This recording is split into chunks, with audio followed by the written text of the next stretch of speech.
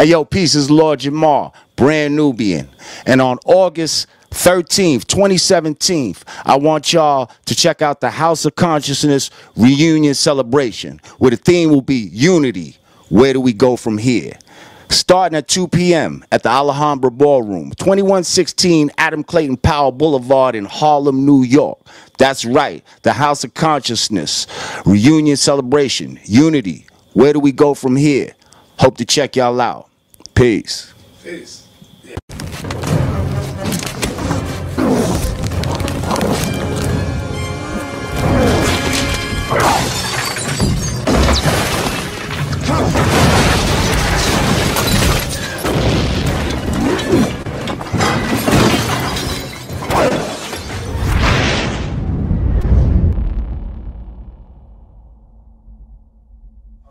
One, two, three. Peace, love, and light to the family out there, to all the viewership.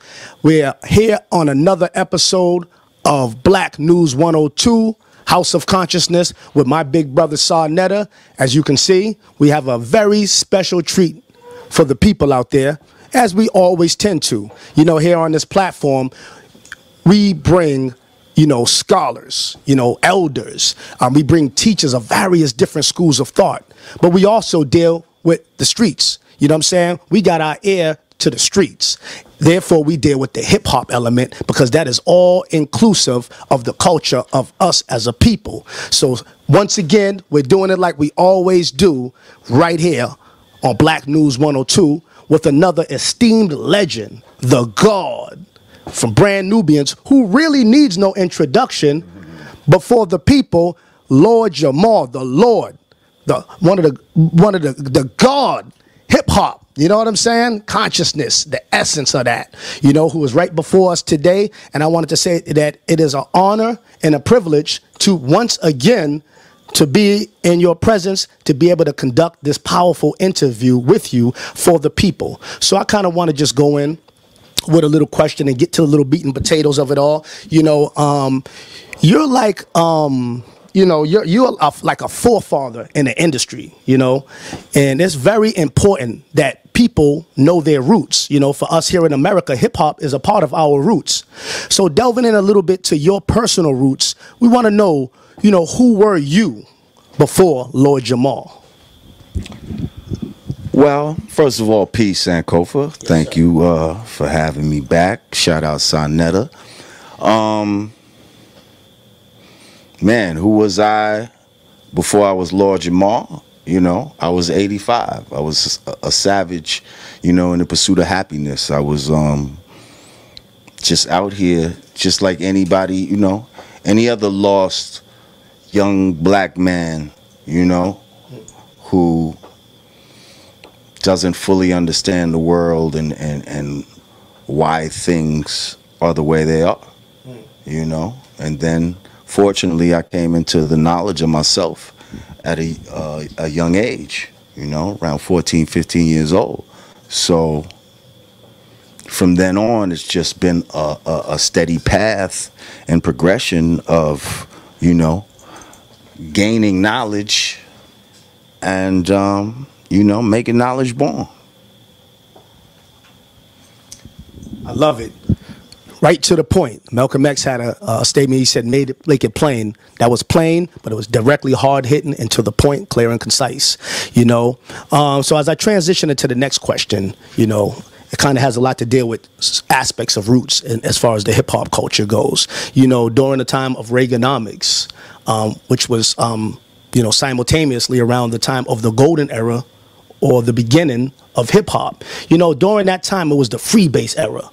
You know, New York City was hit hard with the crack era. Tell me um, how, if in any way, that era impacted you as a young black man out here in, in New York City around that time. Well, first of all, freebase and crack was two different things. You know, freebase was something that you know they did back in the days in the 70s and all of that and that was supposed to be like something fly like you know if you had money and all that you might be freebasing some cocaine um, and it wasn't as addictive as you know when the crack came out mm-hmm. So, you know, how did crack affect me? It affected me like like a lot of people, you know. Um unbeknownst to me, my father went from freebasing, you know, on some cool shit to smoking crack, you know, to where it took him, you know, but it didn't take him to the point where see, he was able to keep a job and shit like that, but it took him to the point where he wasn't really being around his kids and shit like mm-hmm. that. You know what I mean? There, there'd be times where I didn't see my pops for like two years or some shit, and then he'd just show up one day at the crib. Um, and later I found out it was because he didn't want us to see him like that. You know what I mean? Um, shout out to my pops. He's straight now. I love him and all that. Um, so that's one way it affected me. You know, it also affected me in the in the way of just wanting to be a part of it. You know what I mean? It, being enticed by it. You know, um, and also my generation went from thinking that cocaine was something fly. You know, let's keep it real. Like even in the beginning of hip hop, motherfuckers used to be at the party talking about say cocaine, say blow. You know what I mean? Like that was part of hip hop. So we used to be in the parties, hundred dollar bill, coke in it. You know what I mean? Smoking coke cigarettes, blowing it in broads' faces. You want them to know that you had coke because only the live motherfuckers had it. You see? But then it switched. When then it switched to crack. So now you got dudes that were smoking coke cigarettes casually. Mm-hmm. Now they smoking woolers. Mm. But it's not casually no more. You know what I mean? Not for a lot of people. Like, you know, it took a lot of people. And you know, I did everything that a nigga would have did back in the days. You understand? That a nigga would have did. I, I smoked weed, I sniffed coke, I smoked dust. You know what I mean? I even sniffed fucking heroin like twice in my life. Mm. You know what I mean? So I'm just letting you know. But what saved me, because I had friends that ended up being crackheads and all that type of shit, but what saved me was having knowledge of self, knowing that I am the master of all things and nothing can master me. Like just that knowledge in itself mm-hmm. made me never go overboard where others did. You know what I mean? So so yeah, I fucked with it a little bit, you know what I mean? I sold it, I fucking did all kind of, you know, crack affected us all in all different kind of ways. I robbed people that had it. You know what I mean? I did a lot of shit. um, crack affected me. Yeah. Friends that, you know, mm-hmm. went from having money and being the man to fucking you can't believe it. Looking at this guy like, are you serious? Like, like but fast though. Like mm-hmm. two weeks ago, he was the man. Yeah. Wow. You know what I mean? Like shit like that. Yeah, I done seen dudes catch sealed indictments, all kind of shit like that. You know, nigga, because I was running with, mm-hmm. where I was fortunate not to catch it. So yeah, crack affected me pretty much like it affected a lot of people.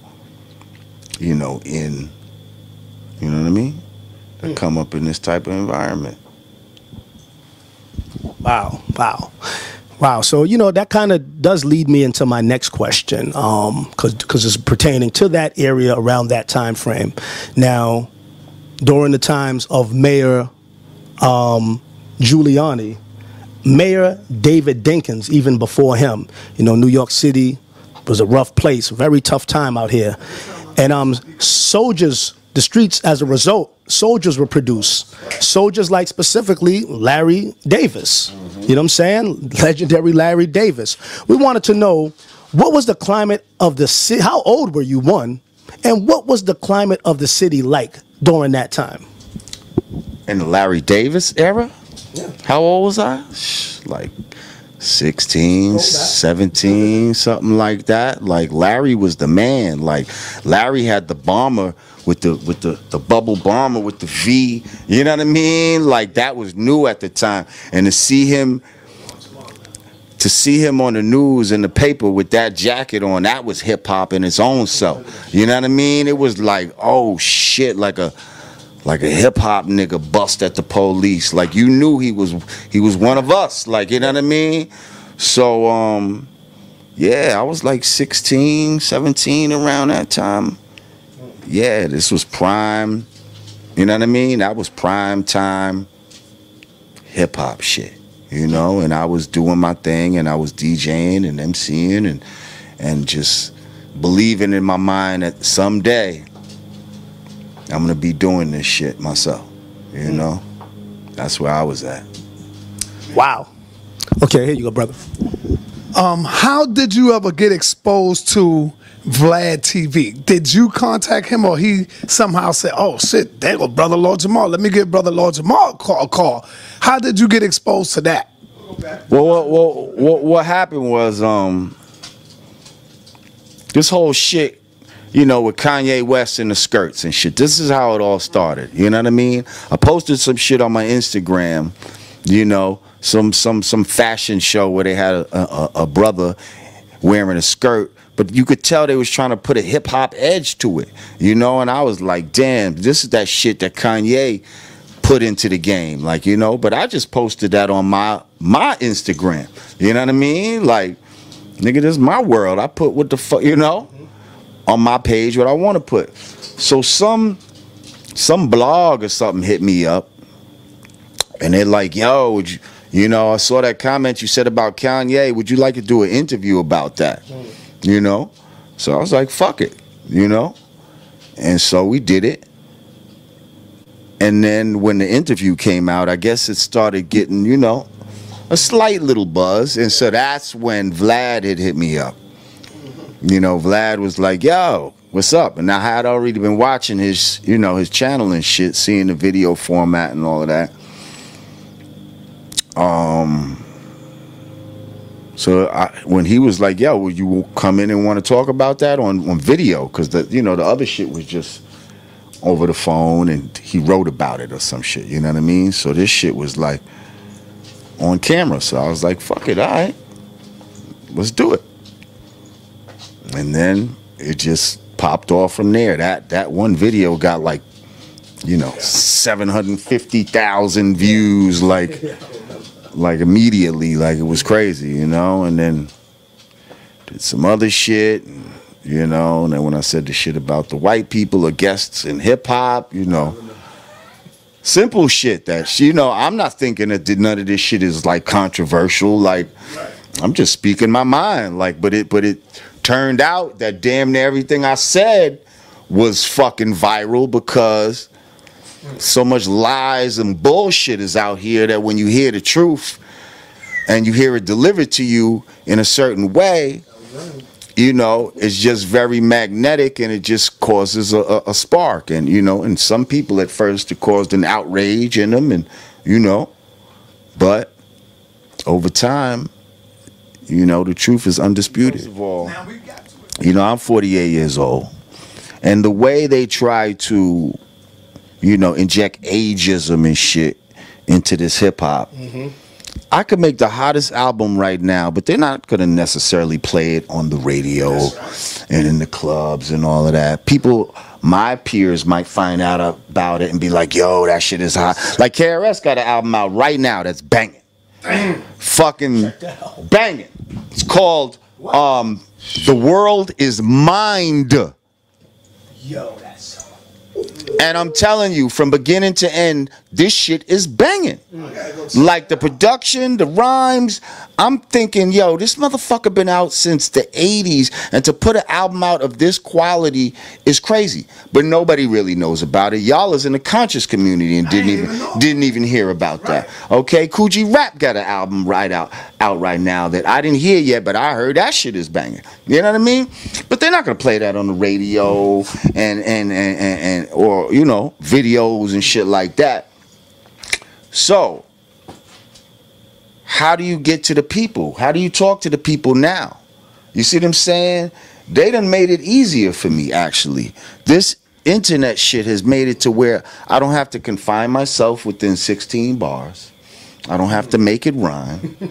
I could just say what I want to say in the way that I want to say it, and either you're gonna fuck with it or you're not. But I've found a way, you see, to deliver the shit that I want to say in a way that's magnetic. Hmm. Because I'm not in here trying to be, you know, Oscar the Grouch and black people. Hey, relax. Yo, Oh, oh, he going out there. this mother. Yo, you should have saw your face. you had me scared. I thought he was coming at me for a minute. Talk right to you, son. Right, man. That's funny. Shook, son. I'm like, yeah. I'm gonna leave that on the tape. Leave that on. Oh shit. say. Don't say the word grouch. But nah, they didn't see your face. They're gonna see your face through my face. Right. but did you thought he was coming at me, or you knew? I mean, I didn't think he was, but then I saw him going that direction, so I don't know what you could have did. Oh. But then I heard a noise outside, so Oh, oh. oh. Sometimes tell me if this affects the shot. No. No, we good. Cause when they see people walk past and shit like that, that's what makes them bug out. Man, that shit had me like, yo. what the- Them And then- vibes are on point. Guard dog is an understatement. So where were where were we? I forgot. Oh, we were talking about Oh, um yeah. Does it um oh relevance. Yes, yes, yes. Okay. So you know the fact that I don't even have to rhyme, that I could just and not be the grouchy guy. You know, I've actually.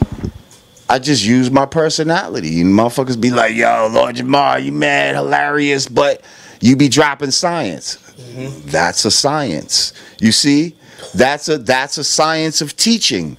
Like like who wants to learn from somebody that's always yelling at them? And black man, you need to do this and da, da, da, da. See, I don't talk like that. They'd rather go to church. I'll I'll show you the absurdity and the and the humor in the bullshit that's going on out here. Mm. You see? And that's I believe is more effective than yelling at people and you know trying to act so fucking militant all the time because that's not real. We don't all we're not all angry all the time. Mm-hmm. First of all, anger anger is not a good emotion. It's not a good vibration. You know, I think we've our frame of reference is to see how you know our leaders and elders from back in the days would speak and now we're mimicking the way that they talk.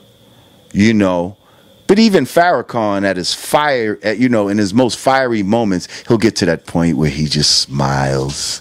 You know what I mean?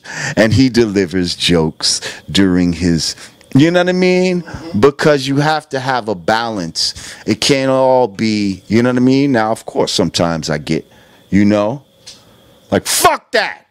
You bugging. You know what I mean? But you have to have a balance. You have to have a balance. And so I'm I'm grateful to this internet thing that it allows me to just touch people, you know, millions of people. Look, I didn't even have to go nowhere. Y'all came to me. Mm-hmm. You know what I mean? And right now, this is going to disseminate out to millions of people. Like when I said that shit about Kanye West, I said it from right here in my crib. I ended up making a song about it called Lift Up Your Skirt right here, put it on the internet. And within days, this motherfucker asked to have all the pictures of him in a skirt taken down off Kanye? yes off the biggest you? no off the biggest um Oh, I see what you're saying. Right. off the biggest place that disseminates pictures. You know what I mean? Now, like I was able to, whether he admits it or not, I was able to tap Kanye on the shoulder right from my from my crib, Yeah. right from my rest, Wow. right from my kingdom, and say, "Yo, Kanye, you bugging with that skirt shit," and he heard me through this internet shit. You know what I mean? And so, and a lot, and, and now if you notice, that skirt shit, that shit has gone down. Like you don't see as many motherfuckers in skirts and shit. And mm. I believe it's because motherfuckers like me spoke up. That's right. You see? And and and and didn't just let it happen. If I just sit back and just let motherfuckers start wear, I bet you mad people be wearing them right now. Yeah. Now they trying to come with these rompers for men. but people's clowning it because I've created an atmosphere for that to be clowned. You see, that could have been a good follow up to the skirts and shit mm-hmm. like that. Mm-hmm. You see? So this internet enables you to go mainstream without being mainstream. It able it enables you to act like you on the radio without necessarily having the backing of, of a corporate radio entity or structure. You know?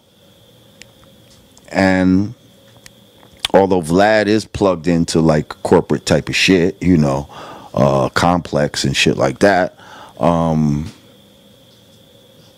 it's not like, you know, clear channel or some shit like that, you know? So yeah, it's this this this, you know, it's a good thing right now. Wow.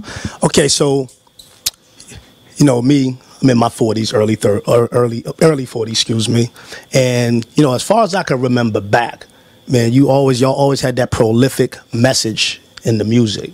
I mean, it was raw, a lot of strong content lyrically, proficient, hot beats, but a lot of people were inspired to, to study the lessons 120 lessons of god and earth. Through hearing people like there were other course other gods in the industry but y'all kind of brought it out on another level as far as kind of teaching it and making it palatable and and, and you know bop worthy to the people so to speak. So you were god and studying the lesson 120 lessons okay? For as long as i can remember okay when y'all came out in your inception. So my question is what what inspired brother lord jamar to get enlightened? What was your inspiration? Wow. Well, see, you know, it's never one thing. Mm-hmm. You know, it's a series of things. Um, so coming up, let me. I gotta go all the way back. Like coming up, my mother. Our, my first remembrance of any kind of religion was my mother taking me to some Sunday school. Okay, it was at some church and just the church looked spooky to me and I didn't like the way it smelled in there and but it was like all right you go downstairs with the kids and they're upstairs. And mm-hmm. I, I was like the fuck is this? Like it just seemed like one day we was just going to that. Mm-hmm. You know what I mean? I'm very young. So she didn't stick with that church. She ended up turning and, and becoming a Jehovah's Witness. Mm-hmm. Now that's the shit I was brought up in okay? It's Jehovah Witness shit okay? And where i came up at you know it was so beautiful because i was able to see the racism in that religion from an early age reason being we lived in Shell. but now there was so they had a kingdom hall but they had to share it with another congregation and that congregation was from scarsdale now if anybody knows what Scarsdale or where Scarsdale is, Scarsdale is like super rich, super white. Mm. Okay? So I'm thinking, all right, the, the, the, the, the Kingdom Hall is not big enough for these two towns. I get it. So one day, but there's a lot of black people that go to the New Rochelle, but there's white, a lot of white people in it too. But there's more black people in the New Rochelle congregation. But all the people that really run the New Rochelle congregation are still white. Mm-hmm. And I'm noticing that too as a young man. So now, one day, so they, they'd flip it where the New Rochelle would go in the morning for a couple of years, Scarsdale go in the afternoon. Then they'd flip it, you know, a few years, Scarsdale now goes in the morning, New Rochelle goes in the afternoon. So whatever we missed our morning shit one time with my mom. So my mom was like, "Oh, well, you know, we'll just go to the Scarsdale one in the afternoon." You know what I mean? That wasn't her congregation, but she's figuring they all Jehovah Witnesses. And I just remember when we got up in there, yeah, it was whiter than white, and the way that they looked at us like, "What the fuck are y'all doing here?" Mm-hmm. Like, don't you know your shit is gonna come in the morning? You know what I mean? And I was like, wow, this is some ill shit right here. Message. So it was little shit like that, little shit like, you know, my mother be like, they had some shit like a communion type of thing. And they'd be like, yeah, some of the 144,000, there's, there's gonna be like one or two of them here tonight. And I'm like, oh yeah?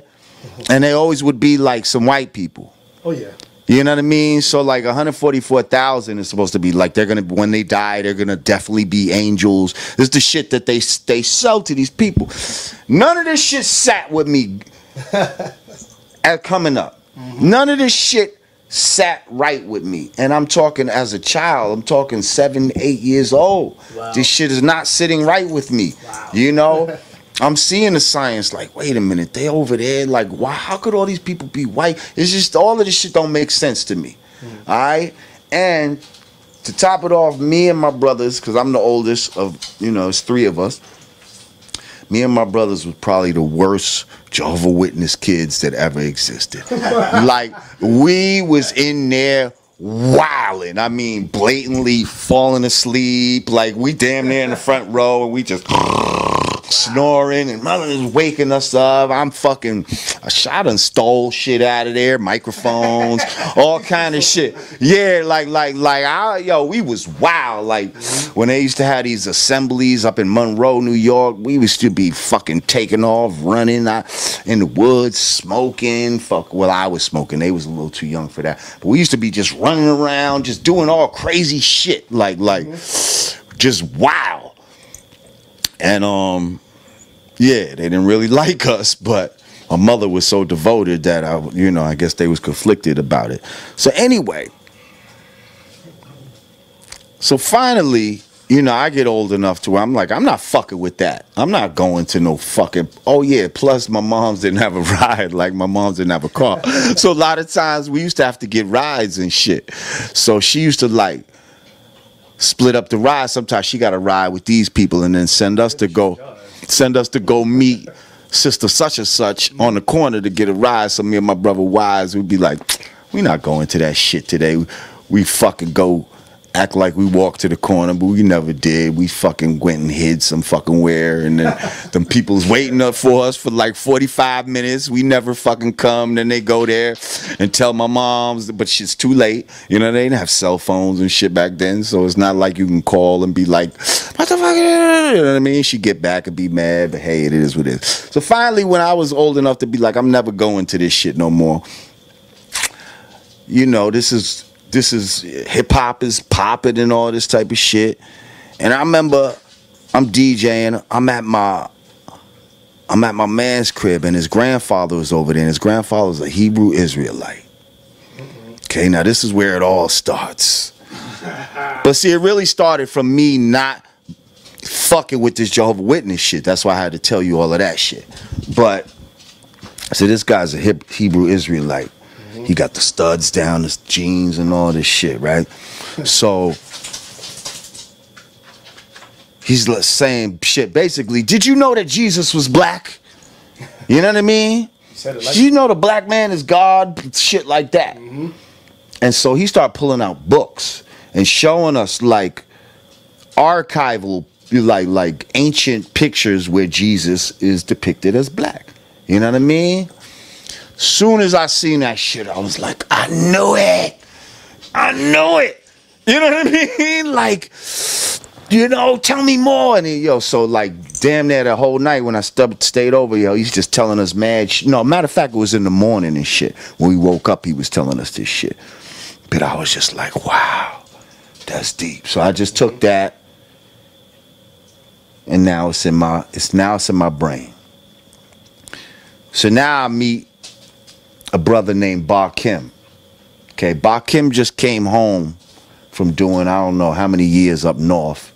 But oddly enough, he was a security guard in the mall. Why a brother who just came home from up north was a security guard in the mall? But whatever. So this is a strong, this is a strong, you know what I mean? But light skinned brother, like understanding see, very like Farrakhan looking, you know, had that type of hair and all of that, the waves to the side and all, you know what I mean? But but strong, you know.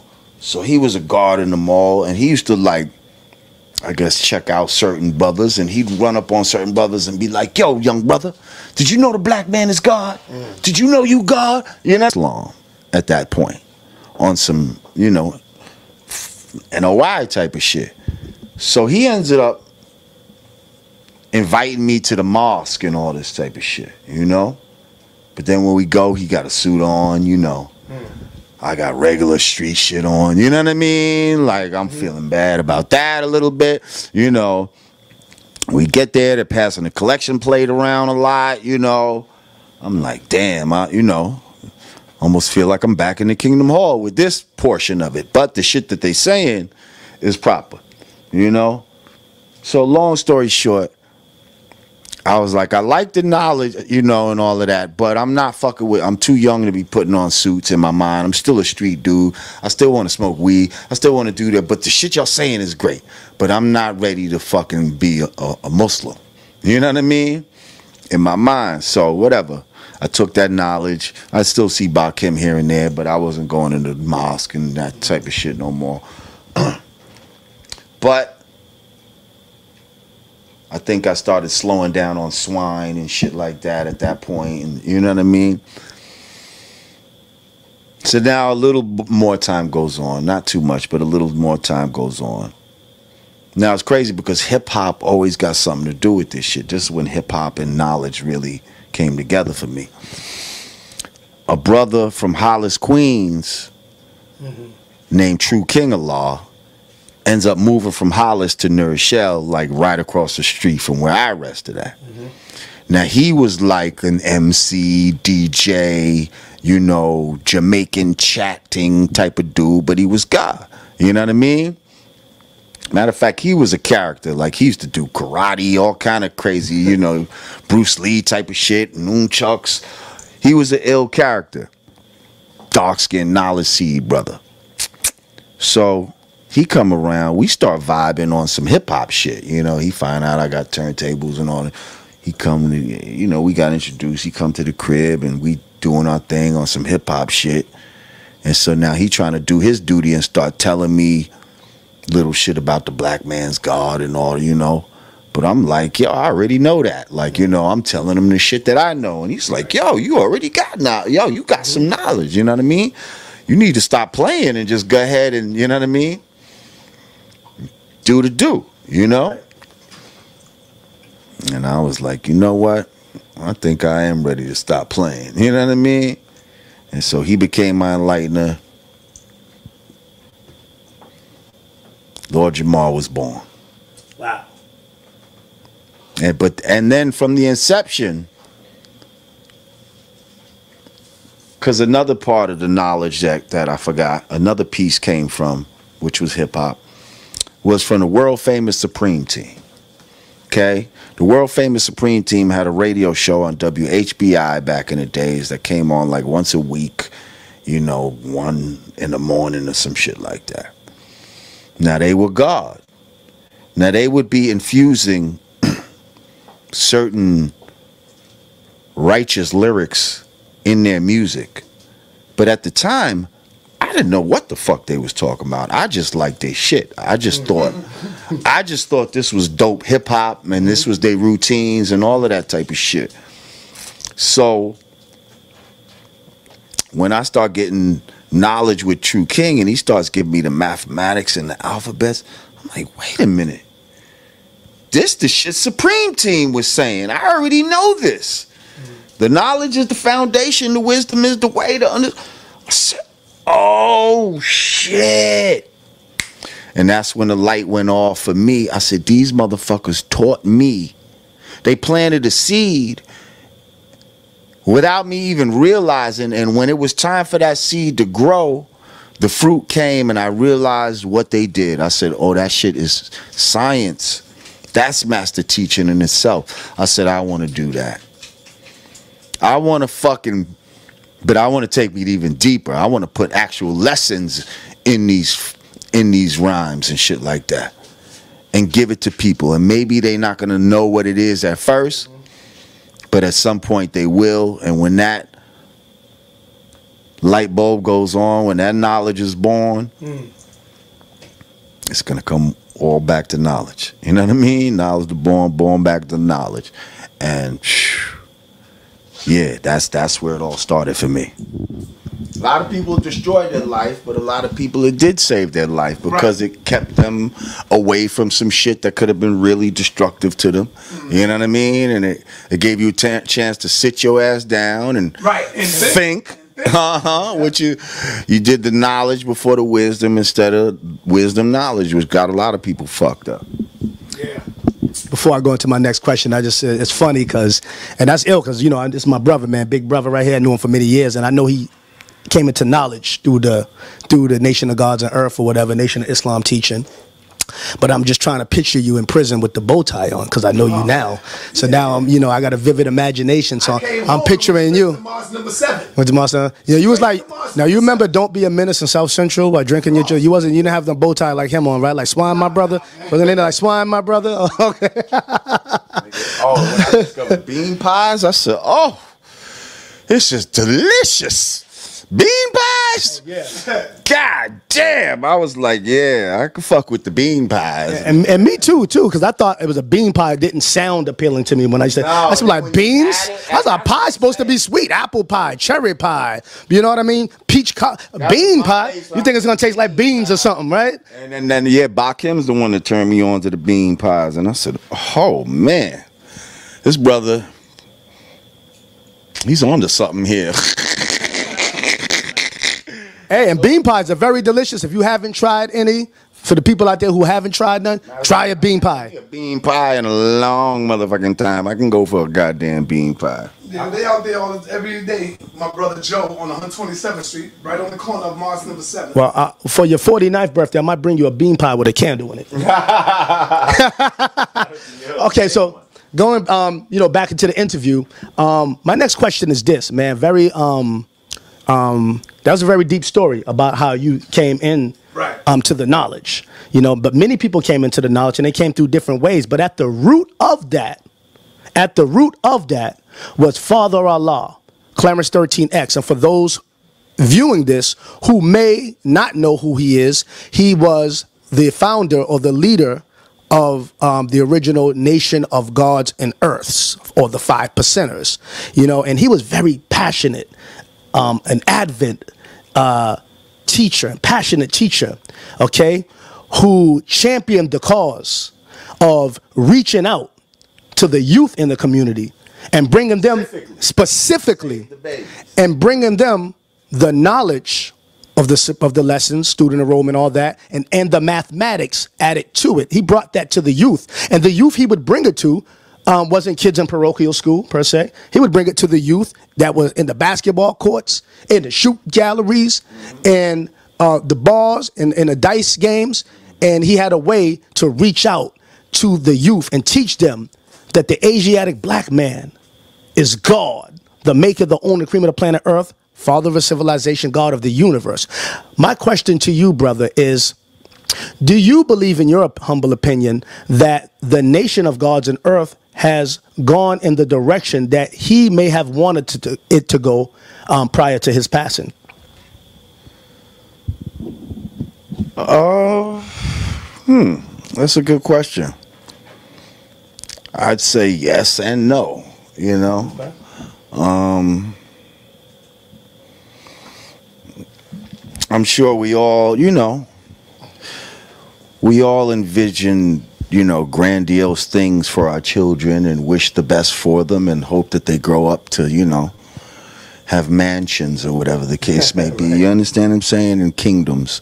Um, that doesn't always turn out to be such, you know, for everybody, for all the children. Um, yet he has many children that have did have done many great things, you know. But do I do I think the father, you know, when we got our first building from Mayor Lindsay back in the days, you know, did he probably envision that we'd have more You know, within a few years, probably. You know. But the fact that we still have that building and that building's even in jeopardy right now is, you know, that that could be a disappointment to the God if he was here right now. But at the same time, you know, for him to see people like, let's take a RZA, you know, who has transcended and rose on so many levels. You know what I mean? Um, and just really all the gods that that, especially in hip hop, that have been able to make knowledge born on a worldwide level. You know, I think he'd be super proud of that and and maybe that might have been beyond what he foresaw. Hmm. You know, that would have that it would actually proliferate in a worldwide fashion. Because I've been all over the world, and I could f- safely say that damn near everywhere I went, somebody was like peace God. Hmm. Somebody was there. The gods was there. Allah is seen and heard everywhere, literally. Yeah. yeah, motherfuckers, that was God that was in the, the military and shit. You understand what I'm saying? So I've been to like Germany and shit. Peace, God. Yeah, what you doing out here? Oh, I'm in the military or whatever the case may be. But That's deep. yeah, That's deep. yeah. That's deep. Wow. Um, bring me to my next question now. Now, the gods are some of the most prolific speakers, critical thinkers. Writers. Got the best writers, of course. Um, have some of the most sharpest vernacular. I mean, they inspired me when I was young, and I used to be trying to test my intellectual sword with them. I was like, I have to step it up. You know what I'm saying? Real talk. Um, and these gods, one thing that I noticed that they exhibited was a lot of passion a lot of passion over the knowledge and them lessons that they were so prolific in conveying. Some to the point where they were so passionate that it would lead to altercations or fights. They saying some, you know, uh, the guards, especially the Brooklyn guards, you know, in Medina, as they would refer to it, was no joke. You know what I'm saying? Altercations, beat downs, if you didn't know the lessons. Have you ever experienced, you know what I'm saying, any of those kind of altercations, you know, between the gods and their passion over the knowledge? I mean, me and my gods, we was the ones around our way causing altercations, okay, over this knowledge. Like, like, like. See, I never personally caught any universals hmm. for not knowing my lessons because, quite honestly, at the time, I knew what it was. Like the the threat of violence had me on point. I'm not gonna lie. It had me on point. I remember. I've told this story before, but I'll tell it again. There's a God. His name is K Born. He's still out here. Peace God. You know, he had knowledge. He was a little bit older than me, and he had knowledge, you know, before me. And so I remember when I first got knowledge, you know, I'm proud and walking around, I got my crown on or whatever and it, and um, you know, he's like, "Peace, God," you know, and yo, how you see, you know, how you see today's degree, da da da da, da. and I'm like, oh God, I'm a little stimulated right now, like you know, so, you know what I mean? Like, yo, God, you master, you know, and right then, you master everything, and don't nothing master you. You know what I mean? Ain't no excuses and, and you could, you know, and this motherfucker, he was diesel at the time. So you didn't want it. What? You didn't want it. Next time I see you, you better know. You know what I mean? you got it. Mm. You know what I mean? I'm not gonna be that one. Mm. I'm not gonna be that one. And I actually do love this, so I understand. Like, you know, the gods felt like, yo, you got to take this shit. If you don't take this shit seriously the way I take it seriously, get the fuck out of here. That's right. That's the attitude. You know what I mean? That it was. And so me and my crew ended up seeing because we was like some of the first gods of our age to get knowledge hmm. in New Rochelle, right? But at the same time, we was the cool guys. Mm-hmm. We was the motherfuckers you want to be around. So now all of a sudden you see certain motherfuckers that want to get knowledge just so they could come amongst us. You mm-hmm. understand what I'm saying? And feel like they live and you know what I mean? Part of something. But but I used to spot that from a mile away. Mm. And those type of motherfuckers used to piss me off. I, they not serious about this. They don't really, you know what I mean? Mm-hmm. They don't really love black people. I seen that motherfucker eating a ham sandwich. You know what I mean? Just a week ago. You know what I mean? So these motherfuckers, when they wouldn't know they shit, mm-hmm. you know what I mean? I would be specifically pressing these motherfuckers, waiting for them to fuck up. Come on. Let's go. We used to be walking motherfuckers down to the park. You know what I mean? It was like a fucking death march almost. Like, you know what I mean? Like, used to have two, three, that's my word, two, three motherfuckers. They know what's gonna happen too. And don't you dare fucking run. Don't you dare run. They wasn't playing. What? No, we wasn't playing. Y'all wasn't playing. Yeah, like I remember walking one kid damn near right past his crib. I know he was looking like, damn, if I just run right here, I could run to my motherfucker. You better not fucking run, cause I'm gonna fucking catch you, and it's gonna be worse. Handle this shit like a man. Yeah, so we used to fucking take these motherfuckers to the park, whoop their ass. You know what I mean? But it made them sharper too. You see what I'm saying? Which is cool. It was a different breed. And it weeded out some of the weak ones. Like, you know what I mean? Like, y'all don't want that. You know what I mean? It doesn't really, you know what I mean, matter that much. Do you really want to get your ass whipped just so you can hang out with us? I don't think so. Get the fuck out of here. You know what I mean? like, Wow. but yeah. You know, but then some people would abuse it though. Hmm. Some people would honestly abuse it. Off their frustration. Yeah, they would just well, they would just, you know. I know guards that would do it just to fucking rob somebody. Just come up with the excuse of, yo, how you showing prove that that chain you got on, guard? How you showing prove this Wow. watch? Wow. You know what I mean? Have a mother all flustered. Give me that. you know what I mean? Take your crown, your jewels, all of that. Like, you know. That's not what it's about, but that did happen too. You know. Not by me, but I know people that did shit like that. You know. Yeah. Okay. Now, shout out to Nori. Now, Nori, you know what I'm saying? He had in one of his rhymes where he said something to like the extent of how gods, how they go in, God body, go in specifically talking about going into jail, mm-hmm. and they come out blood. Mm. Now, you know, you've seen that going on a lot at a certain point, you know, mm-hmm. probably still is. Um, do you know any other gods who were caught up in that kind of thing, going to jail as, you know what I'm saying, God body, and then coming out as blood? Um, I don't know any personal like any of my people that did that, but I've heard of it. You know what I mean? I've heard of it. Probably acquaintances that I might know might have done it. I don't. You know what I mean? I can't think any people offhand, but you know. Hey, that just shows, you know, like. Mm-hmm. See, because some people see, because the gods were strong in, in, in jail at one point. Yeah. Mm-hmm. You see, so Yeah. some people became God because that was the strong thing to be with. You see? And it was like, can you fully blame them? I don't know. That's not the that's not the reason I feel you should get knowledge though. Mm-hmm. It's for protection and all of that type of shit, you know. And those with like I said, with the type of people that I was hard on.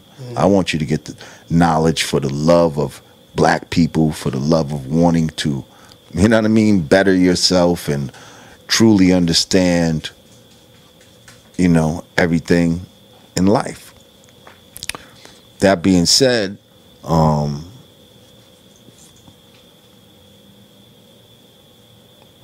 damn, what was the original that we was just saying before that? Um, you talking about the, the people that Oh yeah, the blood shit. Yeah, yeah, yeah. So so the gods was the ones with the strength. Once the bloods became the ones in jail that had the power and all of that type of shit, you know, you got brothers that you know, might have got knowledge outside in the world. You see what I'm saying? And now they go in and now they feel like the way for them to survive inside is to become a blood, you know? So, you know, I don't know. That's something that, you know, every man has to make their choice mm-hmm. and they have to deal with the ramifications of their choices, you know? And they have to analyze what their choices say about them, you know? Mm-hmm. As as men and human beings, you know? Mm. You got to stand on your square sometimes. And, and a lot of times, you know, it's your square. You got to stand on your on it alone sometimes, you know? Mm. So if everybody's doing one thing, sometimes you got to just do your thing, you know, but it's harder sometimes to do that. And some people don't want to go through that. You see? So they'd rather just go with the flow. Mm. You know? So I think that's where that comes from, you know. But I can't judge them for that. They they you know, they're gonna judge themselves. Mm. You know? Wow.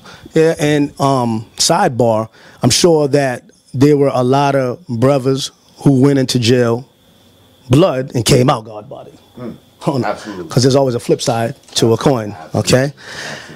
Um. Wow. That, that makes me think about you know uh, an, another question. Um. You know, since uh, the RICO laws were set up, um, New York has some of the um, the strictest gun laws in the country. You know, unlike the South, who you know has a lot more um, lighter gun gun laws. You know, what do you think the um, reason or the motivation behind that is as to why New York City is targeting? Uh, you know, has that kind of gun law set up, and you know, in the Department of Corrections, like you know, because you know that's where you definitely end up as a So I want you to know, in, in your uh, from your perspective, you know, the gun laws in New York being some of the worst in the country, um, and you know, why is that so?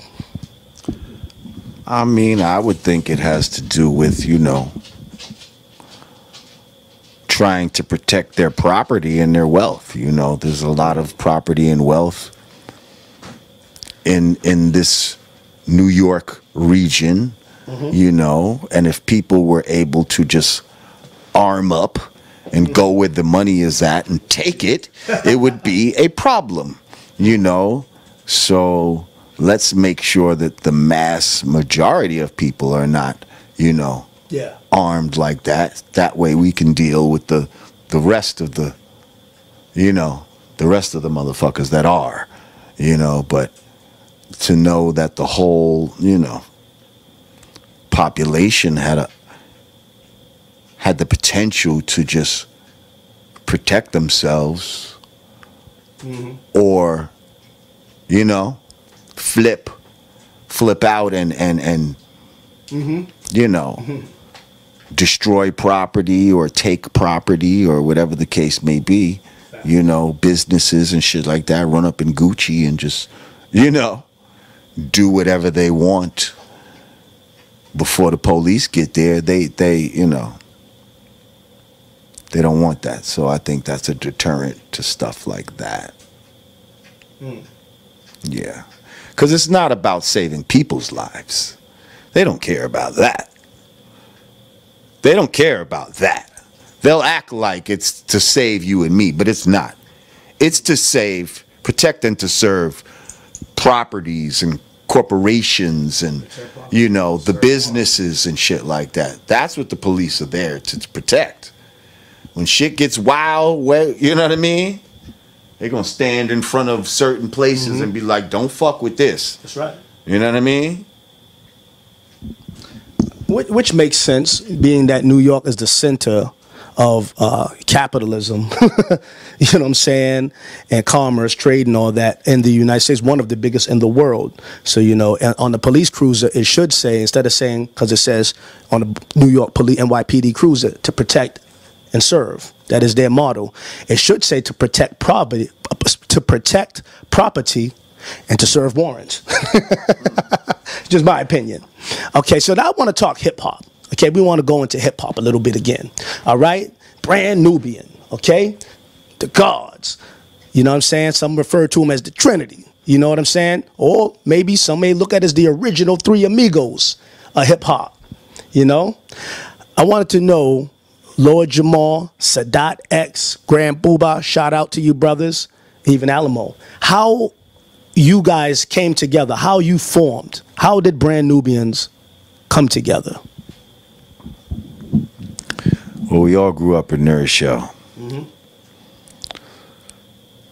X and Alamo, their fathers grew up together, so they already was connected from birth.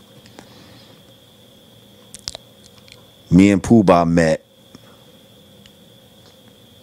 I mean, New Rochelle's not that big. You're gonna end up gonna you're gonna end up meeting motherfuckers if you travel in certain circles. Pooh was a little older than us though, but he was like a New Rochelle legend already. So, you know, whatever. I had met him through some on some through some DJ shit. We ended up getting cool. He ended up starting to work with me as a solo artist. Then he met Sadat. He started working with Sadat as a solo artist too. He was in his group master ceremonies at that time. They broke up. When they broke up, we said, yo, why don't we just come together as a group? And that's that's how it happened. Hmm. Okay, now that's what's up. Now, see, y'all was in a time, you know what I'm saying? A powerful time for me, you know, that I can recall. It was a time when, you know, conscious hip hop uh, was rocking African medallions and, you know what I'm saying? People, you know, African consciousness and dancing was, was prevalent and dancing to revolutionary hip hop and bopping your head to, you know, revolutionary hip hop music was something that was the norm at that time. And, you know, how much is that missed? Wearing the beads, all of that red, black, and green, African medallion. Um, how much of that is missed, would you say? Your opinion. I mean, a whole lot of it is missed. I mean, Harlem, I remember 125th was just a magical place back in the days. Mart 125, oh, that was like a crowning jewel of consciousness at the time, you know, for, for just conscious black people to have their own mall was just a big thing. And I used to just make it a point to try to go in there and support as much businesses as possible back then. um,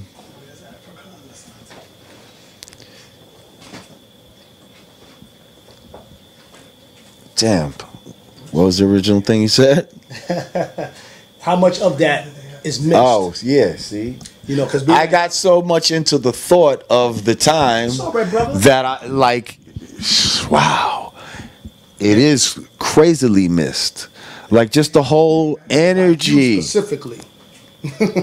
This is what I'm saying. It is crazily missed by me specifically. That's why I'm sitting here thinking about, damn, I remember going to Mart 125 and used to have the food upstairs and you know, you go downstairs and get you a leather. They got my man with the tapes and the movies, my man with the light eyes with the movies and shit. Fucking, they had jewelry in there. Yeah, I mean, it was just just a beautiful time. Like even Brooklyn at that time was, uh, it was just a lot of African. You know what I mean? Love and African pride, and just yeah, mm. just a, it was it was it was going in a good direction. You know. And then came NWA. Then came the gangster, you know. Gangsta, gangsta, that's what they yelling. Cause I'm not gonna lie, we used to we used to sit back and chuckle a little bit. We used to be like, Yeah, yeah, yeah. these devils is paying us money to get on the record and call them devils. I was like, this is great. I was like, they don't even really know what we saying. Like, like, like, obviously. Or the devil is so greedy that he don't give a fuck.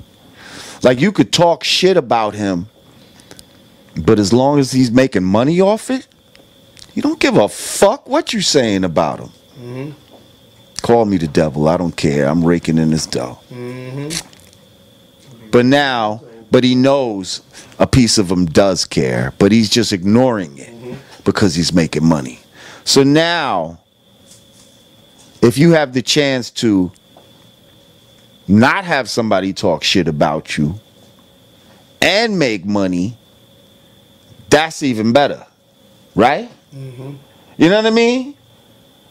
Like if you was making money all the, all this time off of me, but every time you had to hear that yo, Sankofa's a piece of shit. He be robbing motherfuckers. He be killing babies. All this. You understand what I'm saying? Mm-hmm. But now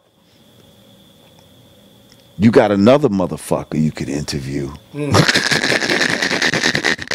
you got another motherfucker who not who just gives pr- nothing but praise for Sankofa. Mm. Okay?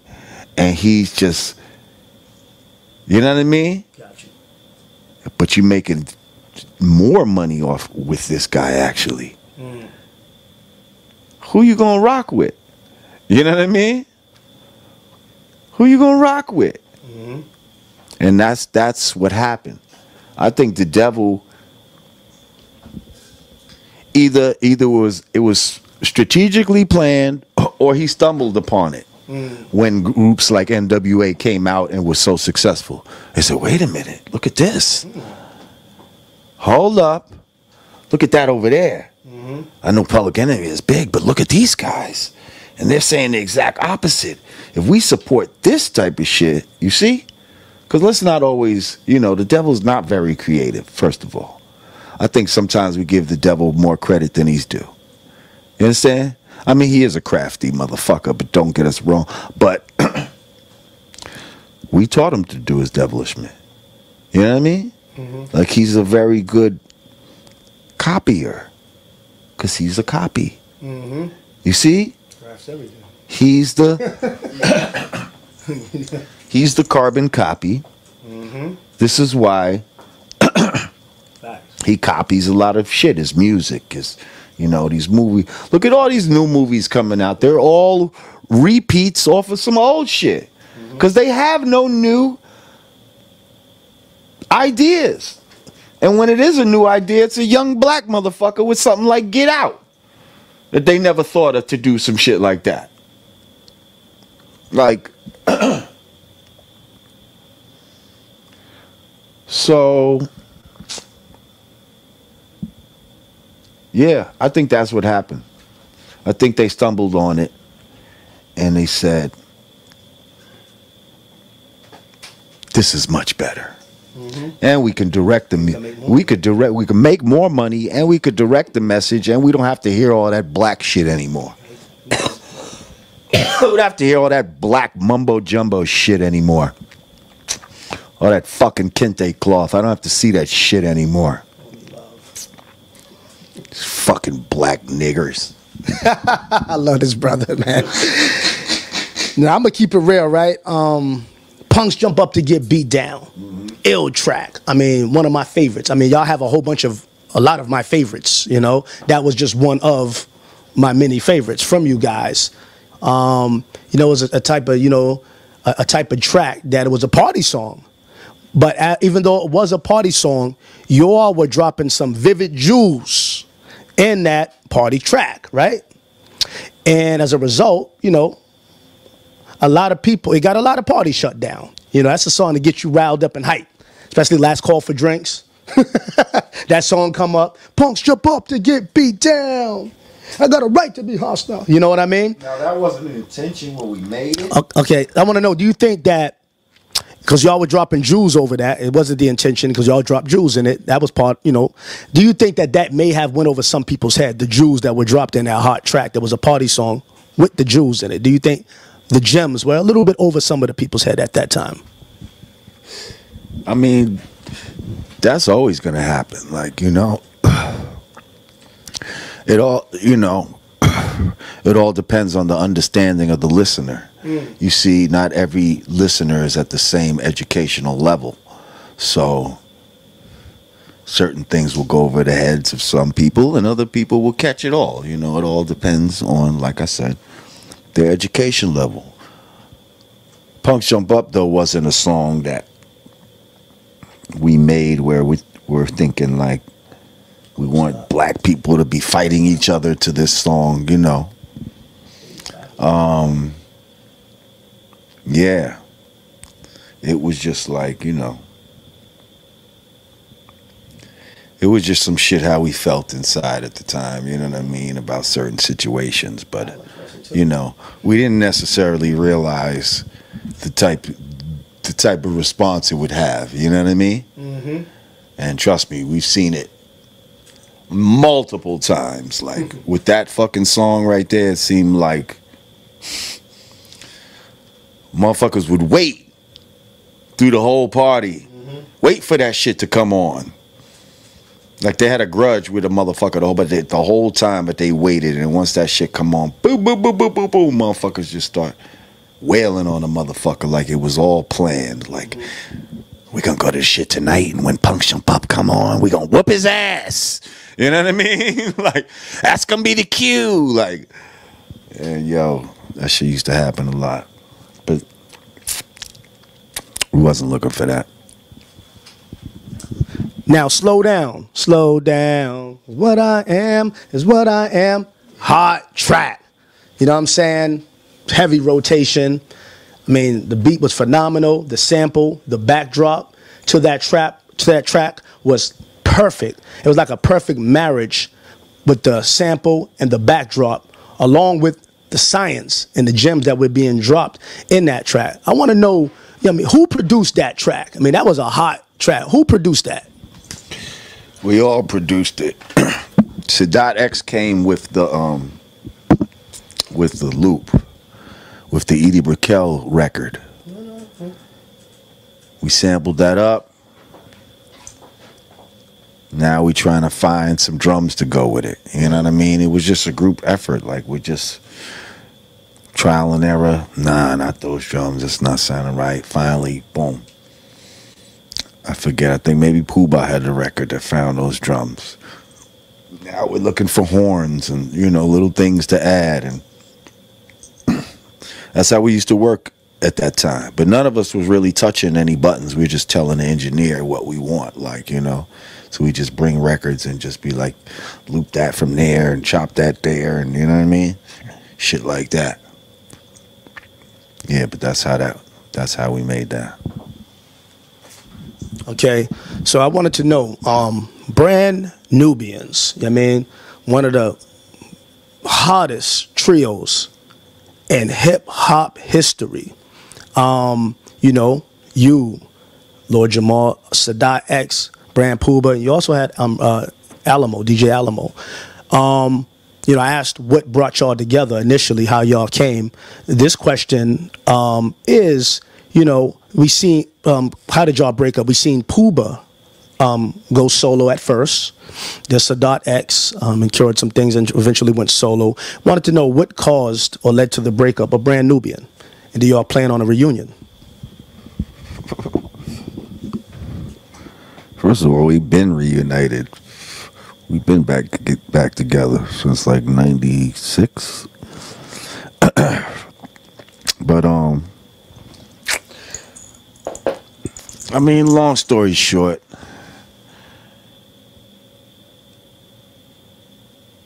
Puba's a little older than me and Sadat. So I think there's there's that there's that transitional phase from when your little homies are just your homies. You see? Like your little homies at some time at some point become your equals. But when is that point exactly? Nobody knows. You know what I mean? Like in my mind it's at this point. In your mind it might be at a different point. You see? And so I don't think those two things jived and it, you know, early on. Hmm. I think Pooh still looked at us as the little homies, you know, and tried to treat us as such, you know. But in my mind, I'm not the little homie no more. You know what I mean? We done made this group together and we all equals and you know what I mean? We grown we grown up now. You know what I mean? I'm not that same, you know. So I, I think it was just some of that, you know, just mm. growing pains. Mm. That's all, you know. Combined with just, you know, we live we live in, you know, we deal with ego in these bodies. You see? So sometimes our lower selves gets the better of all of us, you know. And I think we all were guilty of some of that too. That's it. Hmm. And later it took putting egos to the side, dealing with higher selves, mm-hmm. dealing in equality, you know, respecting each other as men, you know, and everything is, is great since then. Now, my next question is: you, I mean, you mentioned RZA briefly to, to make a point, of course, um, as a frame of reference. Um, now, when Wu Tang dropped, right? It was a you know it was ill to see or to hear. It was amazing to hear so many of the gods dropping them them gems, them hot lyrics to them fire RZA beats. I wanted to know, um, did you ever work with RZA at one point? You know that we may not be privy to. Well, RZA was on my solo album. We got a song called Deep Space. That's a Okay. fucking classic. Uh, Space. yeah. Um, yeah, I mean, I fucks with Wu Tang since they first came out, but even before they first came out, like they used to be at a lot of our shows, like, cause I think they was like, yo, they, you know, they the gods, we the gods, like, you know what I mean, like, but they wasn't even necessarily Wu Tang at that time, you know. I remember Prince Rakeem, and you know what I mean, and um, the Genius, you know, so uh, yeah. But I fucks with Wu Tang, and I, I, I've I've had a lot of you know relationships and creative relationships with different members of Wu Tang and and some of their affiliates over the years. Okay. So um this question is this. Like um, you know, we see you were one of the first hip hop artists, you know, back in the day that we seen rocking dreadlocks. You know what I'm saying? Fit you well and all that. You know. Um nowadays you see a lot of these youngins rocking a lot of dreadlocks. I mean, some on some green, some on some purple shit. Some got some damn beads and barrettes in their hair. You know what I mean? But you were one of the first to actually rock dreadlocks. You know what I mean? How does it make you feel to see, you know, that exterior cultural expression being rocked so much in hip hop nearly 30 years after you were one of the ones we seen first rocking dreads? I mean, see, when I did it, it was it was definitely a form of. For me, it was a form of rebellion. It was a. f- It, I was trying to say, you know, you can look like your authentic African self and still be successful. Mm-hmm. Basically, mm-hmm. is what the message was. And fuck these. You know what I mean? Fuck these motherfuckers. What they are telling you is the standard of, you know, what's acceptable and all of that, or, you know, all of that shit. Be your black self, you know? And I just felt like, you know, just that revolutionary spirit. And also, this is what a black warrior looks like. You know what I mean? Because that's where the dreads really came from. Like, you know, when, when, um, because the roster scene when the, when the brothers was fighting in the, was it, the Congo or some shit like that in Africa. These brothers had dreads in the jungle and all of that type of shit, and they'd scared the shit out of the white man you know, when they was fighting them at night. it was dreadful to these white people, you know. So I liked that was part of why I wanted them too. Just that, you know. It was a lot of different reasons. Fast forward to where we are now. They're not getting dreads for that reason, you mm-hmm. know. Dreads now is the hairstyle of a of a street drug dealer or something like mm-hmm. that. You know, it's not it's lost its spiritual connection. Mm-hmm. See, we also understood that those were antennas that drew energy in. That's right. You know, um, like I really learned about and was inspired to grow dreads from talking to a, a real Rasta dude. You know what I mean? Like, so these guys, you know, first of all, they're going to the beauty parlor. You know, they don't even want to wait like to for them to grow. They'll go get the extensions and just put them in tomorrow. and now let them just start, you know, growing from there. I guess you know. Um, and then yeah, they're dying the tips and all of that type of shit. Like I never went to no uh, beautician and no shit like that to get my dreads done.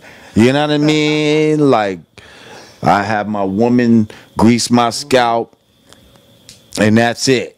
You know what I mean? It ain't gonna be all this, you know, putting pins and shit in your hair and nah, nah, nah. We don't do that. Like, but I done seen motherfuckers do that.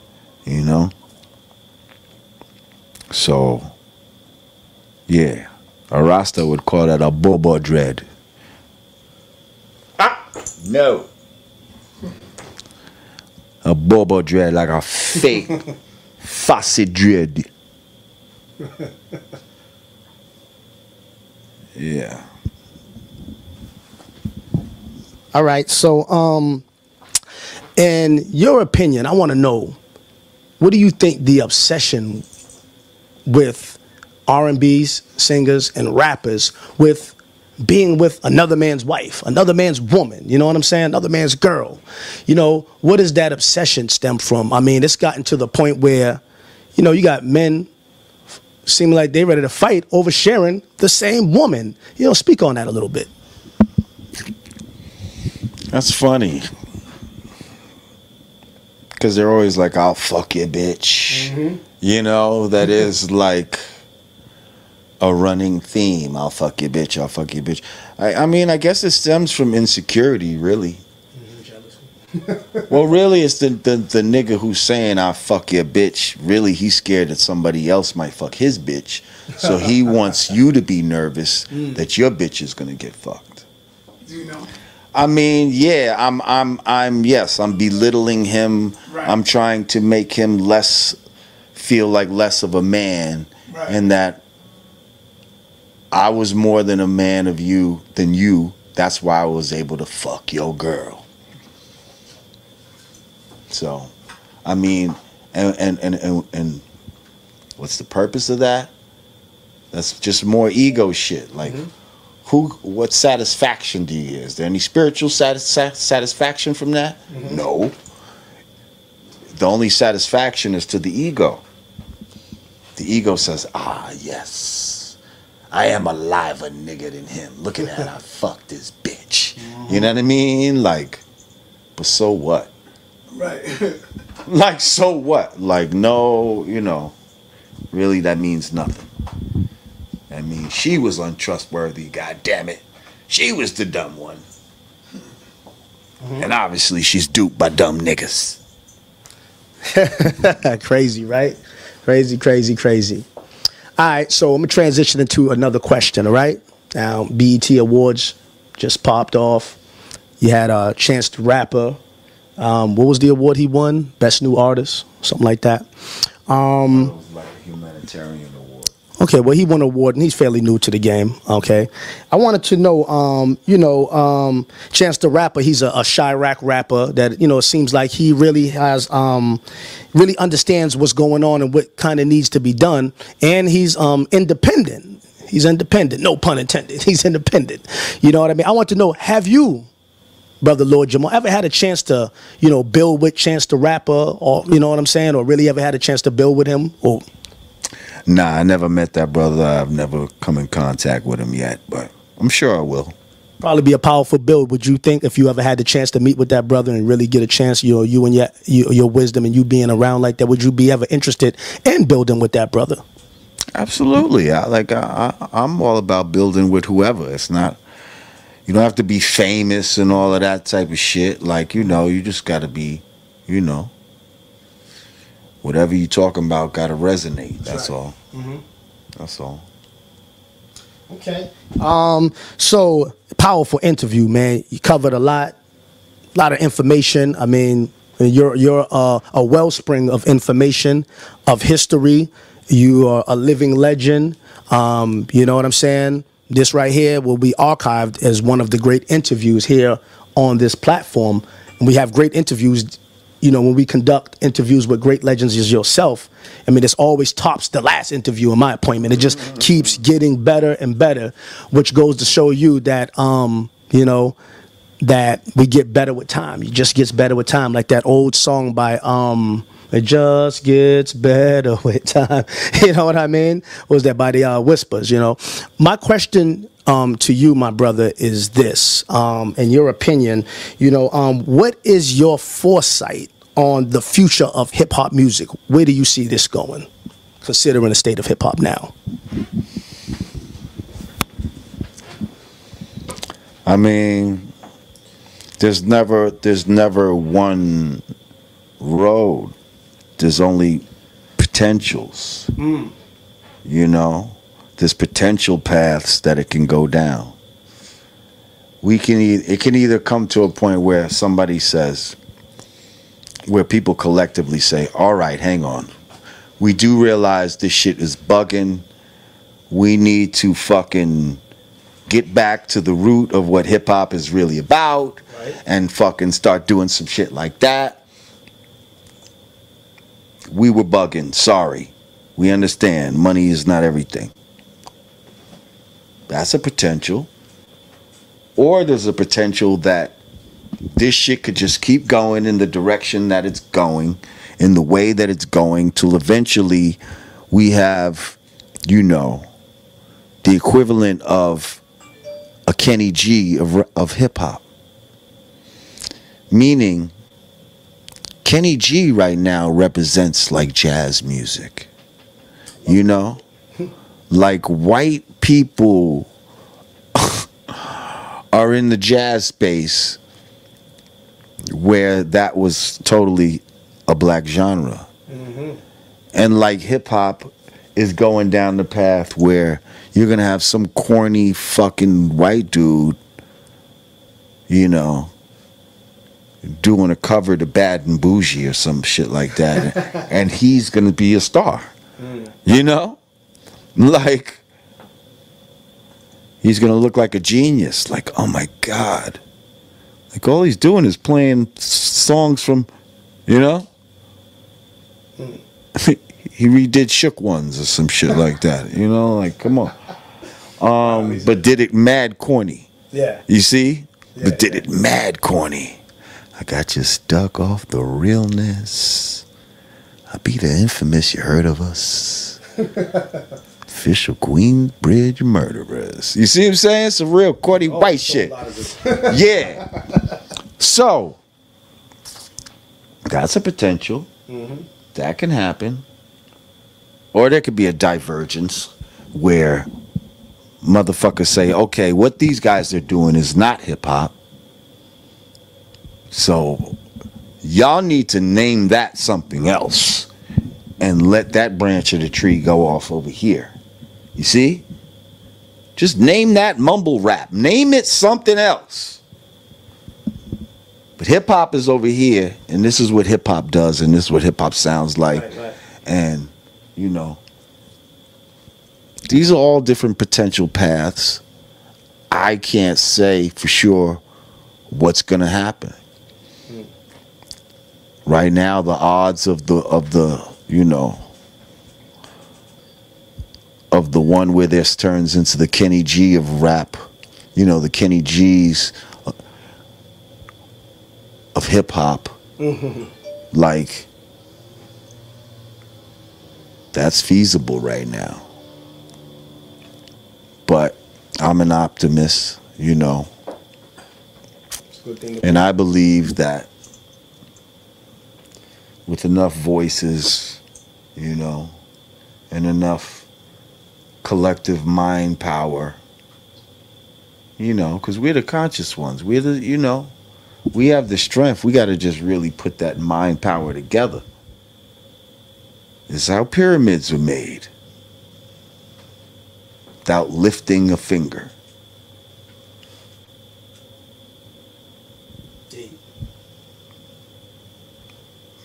You know what I mean? But but every it- you know everybody got to think as one at mm-hmm. that moment. That's right. Not that we all got to think alike at every moment of the day, but at the moments we need to, mm-hmm. that's when we need to get in sync. That's right. And I ain't talking about the boy band. You know what I mean? Copy. I'm talking about with each other for real. That's what it is. Now, this is my last question, all right, before we conclude this great interview, right? Um, yeah. Um, but this is one, that, that was the last one, but this is one that I, I feel is um, critically, critically incumbent that, you know, we mentioned Prodigy here with, um, you know, because he is definitely, to many, any true hip hop heads, a real certified legend in the hip hop rap game. No doubt about it, bar none. Infamous Mobb Deep, legends, you know. Um, he started to get into certain kind of awareness, heightened his awareness and his level of consciousness, understanding social realities, and understanding the lies that we were all subjected to. Okay, to a great extents, um, collectively as a people, he started to come into this awareness, and you would hear it reflect in his rhymes. One of the first people that you ever heard really mention the Illuminati. Illuminati want my mind, soul, and my body secret society trying to keep their eye on me you know and another song on the original gangster soundtrack with the almighty rso back in 95 he said now they got now they got illuminati all on our back trying to see if we do crimes or pay tax the war's on, no time to lax. Build the arsenal. Got word back from apostle. Unoriginal man. Got plans colossal. Now, you know, he was coming into enlightenment at a young age, you know, at, at, at a young time in his career, you know. Now, my question, because a lot of people don't have their conspiracies about what happened. He died the day after National Sickle Cell Awareness Day. He dies the next day. Um, he dies around the same time the Tupac movie come out. Tupac said, "Hey, you don't mess around and catch a seizure and die from a heart attack or something messing with me." You know, he dies from a seizure. Now, I'm not trying to put this together to ask a conspiratorial question like most people are. He choked on the egg. They got him. My question more so is on a personal level. Did you ever have a chance to meet Prodigy, to build with that, to build with that great brother? And if so, what was the energy like between you two? Share that with the people if you did have that experience with that brother. Well, first of all, peace. Rest in peace, Prodigy. Um, yeah, many. I had many interactions with him. You know, um, my group Dead Prez. Fucking part of the reason I even went up to Loud, that we even wanted to go to Loud, was because fucking Mobb Deep was up there, Wu Tang was up there. You know what I mean? And and and we would have loved to have been on the same label with motherfuckers like that. Mm. You know? So when I go, when I'm going up there to shop the Dead Prez shit, you know, I ended up seeing P up in there, you know? And you know, we just ended up kicking it. Like, you know what I mean? I think that's back when his daughter was just born or some shit like that, you know? Um, yeah, matter of fact, it was. Let me just talking about shit like that, listening to some of his new, uh, some of that new Mobb Deep, fucking um, playing some of that uh, Dead Prez for him and all that in the office and shit like that. Um, and he just seemed like, you know, a real dude, just like, you know. He seemed like one of them dudes from my era, like, you know what I mean? Like, even though he was younger than me, his his his energy was that, you know what I mean? That real street 80s, you know what I mean? Real, that raw gang. Yeah, Raw like like like the type of motherfuckers that I would run with. Like That's you know what I mean? Like he seemed like that type of dude. So whatever, like then maybe a little bit of time passed. Matter of fact, we was um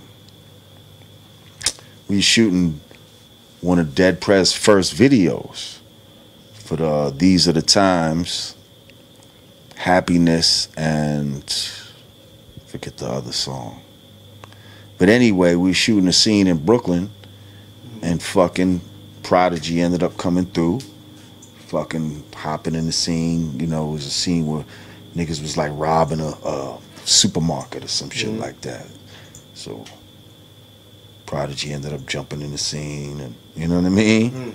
Making his little cameo and I thought that was some cool shit.